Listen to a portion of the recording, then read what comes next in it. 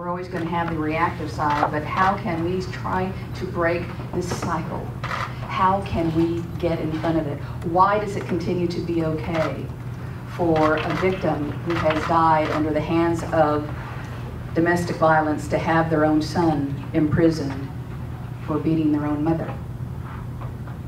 We're looking towards a grant and to get those resources, whether it's an outreach, not only in the school districts, of having guidelines, of having that point person, because I already have uh, someone set up. It's not about reinventing the wheel. It's it's a crime stoppers at the school district that they have on campus, and work with them with these guidelines on trying to break the cycle of change where it's no longer okay to within your culture